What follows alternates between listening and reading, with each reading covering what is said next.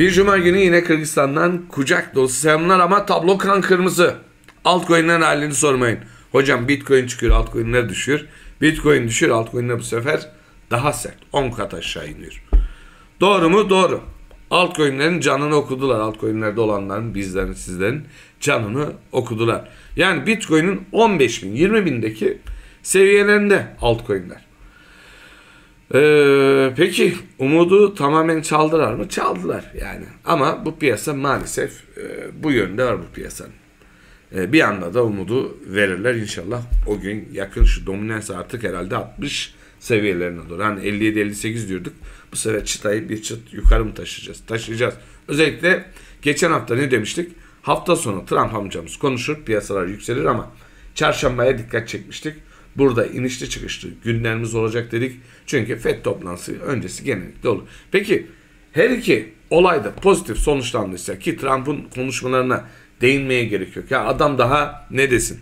Rezerv para yani doları bırakıp e, bitcoin'e mi geçiyoruz desin yani. Diyeceğini dedi. Peki Paul? Paul da pozitif konuştu. İlk kez faiz indiriminden, parasal genişlemeden bahsetti. Daha önceki toplantıların hiçbirinde bahsetmemişti. Hatta bu seviyede ikinci değil, üçüncü bir ayak indirimlerden, faiz e, indirimlerinden bahsediliyor artık piyasada. O yüzden piyasalar pozitif olması gerekirken dolar endeksi aşağı düşüyorken altcoin'ler, bitcoin ve bazı major endeksler düzeltme yapıyor. Tamam şimdi S&P özellikle teknolojik e, alanda olduğu için oradaki özellikle yapay zekalardan güzel kar satışları olabilir ama e, önümüz bana göre bundan sonra pozitif altcoin altcoinler altcoinler diyecek bir şey yok. Yani ne yapalım aldıkça batıyoruz battıkça alıyoruz ama kim kazanacak oyunun sonunda göreceğiz. O zaman şöyle bir hızlıca dolar endeksine geçelim. Dolar endeksi bakın 104. Buranın bir aşağısında kapanış yapması lazım. Yani 103.8 bandının aşağısında kapanış yaparsa e, artık piyasalar rahatlar. Bitcoin yukarı çıkar. Hocam altcoin altcoin'ler artık borsaların elindeyiz. Daha doğrusu sürekli borsaların elindeydik. Onların keyfi ne zaman yerine gelirse altcoin'lerde fırsat verecekler. Orada bir dominansiyeye deneyeceğiz. Peki altın altın ne yapmış ona bir bakalım. Ee, dün video çekemedim. E, trading yerde bir sıkıntı çıktı. Zaten e, yeniden açtık. Yani yeniden yükledik. Normalde siyah ekranımız vardı. Çizimlerimize gitmiş. Evet. Altın 2400'ün üzerindeyim diyor. Bakalım bu sefer kalıcı olacaksa artık 2500 ve üzerinde fiyatlama e, yapabilir. E hocam şu anda 2400 e, üzerinde e, özellikle Orta Doğu'daki gelişmeler eşinde bu yükseliş var. Bir de dolar endeksinin doğal olarak gerilemesi. Ama olur da buran, buralarda birkaç gün daha özellikle bu haftayı ve önümüzdeki haftayı buranın üzerinde kapatırsa evet artık 2500 üstü fiyatları konuşmamız e, zamanı gelmiştir diyebiliriz. Geldik bu diyarların kralı. Evet aldıkça bakalım şu bitcoin ne yapıyor. Evet hiç bütün çizimler gitti. Neyse sıkıntı yok. Ee, ne oldu ne oldu ne oldu şuradan bir çıkalım. Bir çıkalım yanlış yere gitti. Şimdi şuradaki desteğimizi kaybetmemişiz. Şuralara bir desteğimizi çizelim. Evet zaman alacak. Hocam niye çizmediniz daha önce? Yani eve yeni girdik. Her zaman diyorum yani ben piyasalar sizlerle beraber bakıyorum. Öyle 7-24 saat bakmıyorum. Şurada bir ara rencimiz var. 69 mu? Ya aslında şurası ya. Evet 68-69 bandı. Şuraya atalım. Ee, yani şimdilik bu iki renç arasındayız. Aşağıdaki desteğimiz ise burası. Buradaki iğneyi çok hızlı toparlamış. Bak 62 binleri çok hızlı toparlamış. Doğal olarak buradaki e, likidasyonları daha doğrusu launchları burada lik etmiştir. Önüne bakacaktır. Şimdi diyecekler ki burada bir uyumsuzluk var hocam. Hayır aslında bir uyumsuzluk görmüyorum. E, baktığınızda da eğer iğnelerden almayacak olsak mum kapanışlardan aldığımızda da e, burada düşen e, dipler e, yapıyor. Bana göre bu klasik bir arasayı dindirme operasyonu. Neredeki gibi aynı şuradaki gibi arkadaşlar. Arasayı dindiriyor. Sonra tekrardan yoluna bakacaktır diye düşünüyorum. Peki pozitife dönebilmemiz için yukarı neresi önemli? Yine 66 binler gözüküyor ama olur da bir gün 68 bin üzeri kapanışlar yapabilecek miyiz? Buralara emirler dizilebilir mi? Aslında güzel bir yer. 60 e, 2000 kaç burası? Bir bakalım. 63.100, 63.000 diyelim. Düz 63.000 e, bandımız. Hocam bir önceki e, incelemenizde destek dirençler biraz farklı. Maalesef o çizimler gitti. Tekrardan buraları görebildim. Buralar çizdik. E, tabii bir de ara rencimiz varmış. Ara renci e, 4 saatte mi bakalım nereden diyor. Ondan sonra diğerlerine gelir hızlıca değinir şimdi. Evet. Ara rencimiz neresi? Ara rencimiz burası arkadaşlar. Ara renç burası. Evet 66.600. Bizim için önemli olan neresiymiş? 66 bin e, yani şu bandımız. Tam bu band. Bir daha teyit edelim. Evet 66.600. 66.600 bandı. Tabii önceliğimiz nedir artık? Şuran bir üzerinde kapatması 64.000. Ondan sonraki şuranın üzerine 66.000 üzerinde gün kapanışları geldiğinde tekrardan 70 binleri zorlayacaktır diye düşünüyorum. Burada bir düşen trend var mı derseniz herhangi bir trend görmüyorum. E, ara sayıda 4 saatte dipler yapmış yukarı yönlü dönüş mumları var. Bu gayet güzel 4 saatlikte. E, ama dediğim gibi şu 66 binlere gelip gelmeyeceğimiz önemli. Bu da önümüzdeki haftalar olacaktır. E, dolar endeksi 104'ün altında kapattığı sürece yön bana göre yukarı tabi kripto dünyası içerisinde ki diğer gelişmeleri de e, ele almak kaydıyla. Diyeceklerim bunlar. Hocam ne dediniz? Hiçbir şey anlamadık. Kısacası 62 bin den güzel bir dönüş. İğneyi hızlı bir toparlanma var. Buranın altında gün kapatmamışız. 66 bini vermişiz. Bu bir negatif. Tekrardan orayı deneyecek. Eğer orayı denediğinde alamazsa evet 62 binlere tekrardan döneceğiz anlamına e, geliyor. E, Bitcoin'in dominansiyesine bir bakalım altcoin'ler için. E, orada son durum ne? Evet yani altcoin'ler game over, game over, game over. Şey yükseliyor. 57'ye gidecek tekrardan. Yani şuralara gidecek görünen. Bunu bir e, haftalıkta açalım. Hatta günlükte açalım. Yani e, şurada bir trend var. Bu trendi takip ediyor. Ancak şu trend kırılacak. Trendi de çizmeyi unuttu hocam. Çizimleri gidince. Evet. Burada bir trendimiz var. Bu trend kırılmadığı sürece artık altcoin'lerde şimdilik e, pozitif tablo e, beklemeyelim. Genellikle ne zaman kırılıyor? Bitcoin aşağı düşerken bu trend kırılsa ne yazar diyorsunuz. Haklısınız siz de. Peki o zaman e, altcoin'ler nereye kadar e, ezilmeye devam eder? Yani bunu haftalıkta gösterelim şöyle hızlıca. Günlükte açtık. E, 58 58 üzerinde gün kapatırsa bu sefer artık 60'ları konuşuruz. Umarım 58'lerden 57'lerden red yer. Burada güçlü bir direnç var. Ama olur da artık buranın üzerinde kapanış yaparsa da altcoin'lerde yine garibanları oynamaya devam ederiz. Ee, peki bizi kurtarabilecek bir tablo var derseniz bu da Total 3. Total 3, Total 3 de gözünü toprağa dikmiş yani ne diyelim hatta. Evet 600 binde tam böyle desteğinde. Umarım buralardan hızlı bir dönüş yapar. Yani dönüş yapamazsa yine e, mazlumları oynayacağız. Şuradan red yemiş. İlginç. 680 bin bandından red yemiş. Oraya gelemeden red yemiş. Ee, ne zaman ne zaman altcoin rallisi başlar derseniz e, bana göre 830 bandı sonrası altcoin rallisi başlar. Şu anlık o noktadan biraz uzağız hatta bayağı bir uzağız. E, 630 mu aslında şurası. E, şu range yani 830 pardon 630 nereden 830 bandı. Şu range'in üzerinde gün kapattığımızda artık altcoin rallisi başlar diyeceklerim bunlar. Evet yorumlar kısmına geleceğiz. E, bugünkü biraz eksikliği olacak. E, neden? Çizimler gitti, bilmem ne gitti. Bahanemiz var yani. Elinize sağlık hocam. Enes hocam arbitrium demiş. E, arbitrium'a bir bakayım. Telefonum çaldı bu arada. Elinize sağlık demiş Ömer Bey. Ona da teşekkür ederim. STRK demiş Cihan Bey. Emeğinize sağlık hocam. Oğuzhan hocama ben teşekkür ederim. BTTS demiş Kral Mustafa Hoca. HIFI'ye baktık diye aşağı yukarı hepsini zaten e, cevaplıyoruz. Arbitrium'la bir başlayalım. Coin Market Cap'imizi de bu arada açalım. Ya şu Arbitrium'da kilit açılımlar devam ettiği için e, orada şuradan açalım ya. E, oradaki yani destek dirençler çok fazla ilerleyeceğini e, pek sanmıyorum. Evet. Neyse Arbitrium'la devam edelim. Şuradan mı? Nereden? Buradan devam edelim. Arbitrium. Buradaki tabloları da kapatalım. kapatalım.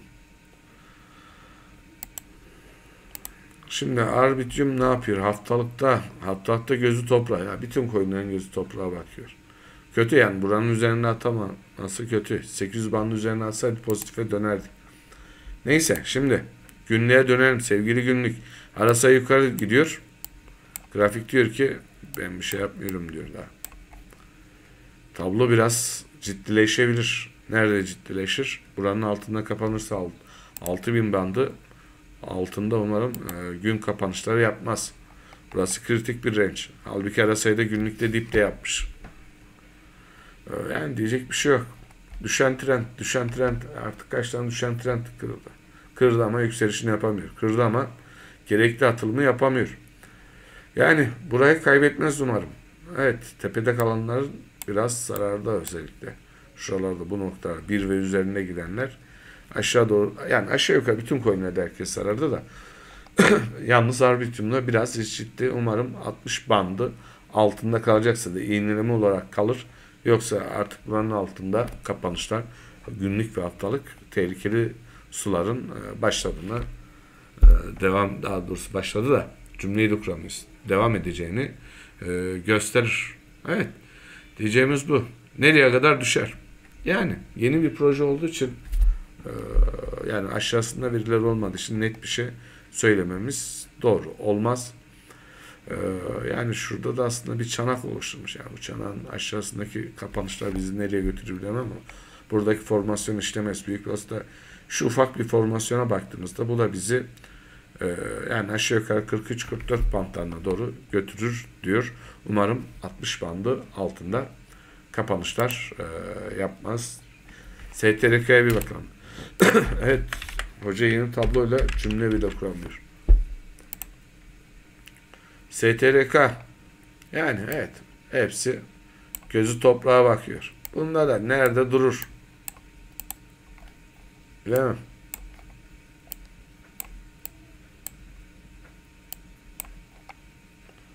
Yani şurada bir ufak bir çanak yapmış. Yani burada 450 yani şu iğneden gelen bir ufak bir desteği var. 450 diyor. 450'nin aşağısında gün kapatmam diyor. Al sana uyumsuzluğun kralı diyor. yani diyecek bir kelime yok. Game over yapmışlar bunda. Aynı. Arbitrium, Arbitrium'dan beter etmişler. Ee, STRK bulan ne yapıyor yani? %10'unu piyasaya vurup ilk başta yükselttiler sonra aşağı mı vurdular? Olabilir. 10 milyar adedi var. Starknet. Borsa listelemesi güzel. Ama e, derseniz ki 1.6 milyarla e, bu fiyatlar eder mi? Edebilir. Ama geriye kalan %80'lık kısım var. Bir gün mal boşaltımına gidiyor, gidecektir. O gün bugün mü bilemeyiz. Düşen trend Brent yok. Dip araması yapıyor. Dip nerede? Bilemiyoruz yani. Bu coin'de dip, dip araması yapıyor. Maalesef dip araması yapıyor. Bunda da en fazla şöyle diyebiliriz. Buranın üzerinde gün kapatacak mı? Aslında burada bir şey yok yani. Şurayı kaybetmesiyle belki 500 bandı yani 500 bandın hızlıca üzerine atarsa e, pozitif olabiliriz. Ama 500 bandın üzerine atamazsa e, şimdilik yapabilecek bir şey yok. Bekleyip nereden dönüş sinyali geleceğine bakmamız lazım. Dönüş mumu diyor. Herhangi bir şey yok yani. Hiçbir sinyal şimdilik yok. Atarsa bakarız ama dediğim gibi yani. Gözü toprağa bakıyor. Gözü toprağa bakıyor bunun da. Diyecek bir şey yok. Haftalıkta da yani haftalıkta da bırak. Buralar gösteriyor işte. 530, 520, 510 bantları. Ee, yukarı atması lazım. Yani diyeceğimiz bunlar. Evet. BTTS'ye bir bakalım. Yani o da game. Evet, bütün coinler game or yaptı yani. Mustafa Hoca. Yapmayan coin yok. Yani yani hiç olmadı bir iki tane haftalıkta dönüş mumu atmış. Buradan döndüm demiş. Güzel. Bir trend var mı? Yani haftalıkta bir ara ses sinyali var ama gerisini getirememiş. Ee, Bitcoin'in düşmesiyle beraber geriye gelmiş.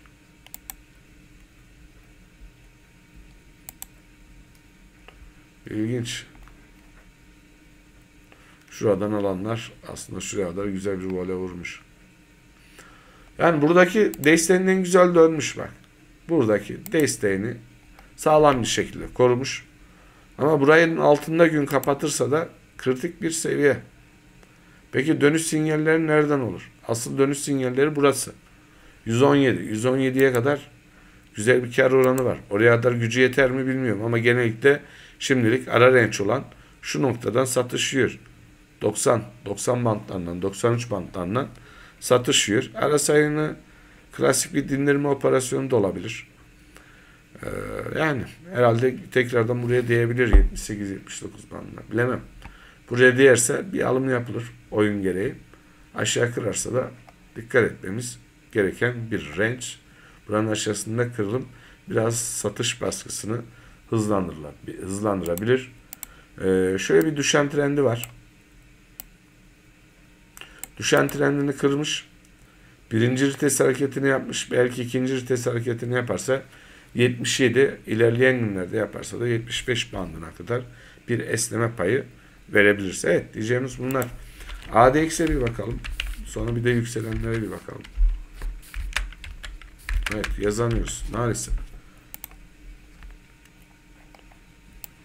ADX gözü toprağa bakıyor. Hepsinin gözü toprağa baktığı gibi ADX'in de gözü toprağa bakıyor.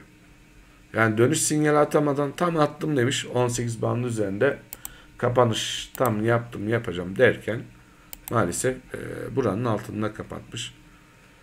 E, buralarda bir destek var mı? Yani bir 14 bandı edeceğiz de bu da çok güçlü bir geçmişten gelen bir desteği var. Evet geçmişten gelen bir desteği var. Bakalım buradan döndü döndü. Dönemedi. Bu da gözünü toprağa çevirmiş diyeceğiz. Yani altcoin'ler maalesef e, işler acısı bir durumda.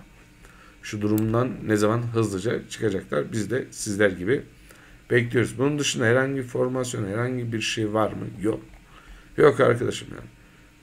Hepsi ölü taklidi yapıyor. Dönüş sinyalleri maalesef vermiyor. BSV'ye bakalım. Umut ettim. En son ekleme yaptığım coinlerden bir tanesi de BSV. E, 1000 satsan 3 katı verdi son 2 haftada. Umarım BSV. BSV yine desteğinde. Desteğinde dönüş sinyalleri de şu bandın üzerinde olur. 75 bandı. Oraya varamadan varamadan kellesini almışlar BSV'nin. Evet bunu da gözü toprağa gözü toprağa bakıyor. Yani evet. Yani buralar buralardan döndü döndü dönemedi. Tehlikeli sulara giriyor. BSV de en dibinde kırmış yani. Ne diyelim? En dibinde kırmış altında. 700 milyon adedi var. Bu fiyatta eder mi derseniz eder. Borsa listemiz de güzel mi? Güzel. Ama borsalar izin vermiyor. Borsa ağlar bizimle eğleniyor. Ardından bir de kötü haber patlatırlarsa iyice game over olur. Pepe'ye bir bakalım videomuzu bitirelim ya. Ya da Agis'te mi bitirelim? FED de bitirelim. Pardon FED. Agis nereden çıkıyor? Agis kalmadı artık. FED. FED yine yani buranın üzerinde ya aslında şuraya kırmıştı. Güzel bir dönüş bunlara attı ama bir üst range'i 13 bantlarından ret yemiş. Burada, burada yapacak bir şey yok. Bekleyeceğiz. Herhalde buralara doğru bir geri çekilim yapabilir. Umarım buradan döner yani. Evet. Bu da game over. Pepe de gözünü toprağa dikmiş. Yapacak bir şey yok. Yapacak bir şey yok arkadaşlar. Evet. Dönüş mumları yok yani. Hiçbir coin'de dönüş mumu yok. Yani Floki'ye de bakalım hadi. Kardeşi Floki'ye de bakmadan geçmeyelim. Belki onda tablo bir şey yok. Aynı. Aynı hareketin bir diğer versiyon. Yok. Gözü toprağa. Bütün coinler gözü toprağa bakıyor. O zaman FED'e bir bakalım. FED'den sonra e, bir tane yükselen coin'e göre. FED de aynı. Tehlikeli. Tehlikeli noktada FED. Yani game over. Bir bandın aşağısında kapanışlar hatta 1.1'in hatta bir ya direkt bir. Birin altındaki kapanışlarda tehlikeli sular artık başlamış olur. Bu koyun da gözü toprakta. Diyecek bir şey yok yani. Güzel bir moralle başlayacağız dedik. Bir yandan grafik, bir yandan coinlerin durumu. Yükselenlerde ne var ya? SKL, Akro. Hadi SKL'ye bir bakalım. Evet, dönüş mumu atmış. Bir burada atmış, bir burada atmış. Satış yemiş ama toparlayabilir. Ee, yani nereye kadar gidebilir? Aşağı yukarı 1.62 bandı var. İki güçlü range'inden Yani asıl dönüş yapacaksa da 68 bandı diyor. Yani buranın üzerindeki kapanışlar e, SKL'yi asıl yükseltir. Şimdilik şuradaki derinliği eğer ele alırsak derinlik buraya. Yani şurada bir çanak kulp yapısı var fark ettiysen. O da bizi aşağı yukarı buralara kadar getirir ama umarım getirmez. Yoksa bunu da bunu da game over yaparlar. Yani hiç olmaz diğer coinlerden biraz farklı formasyon gösterir. Yani dönüş mumları atıyor. Bitcoin hareketiyle satış yiyor. Ama en ufak yukarı yönlü hareketinde de yukarı yönlü mumlar atıyor. Evet. Diyeceğimiz bugün bu kadar olsun. Bir sonraki videoda görüşmek üzere.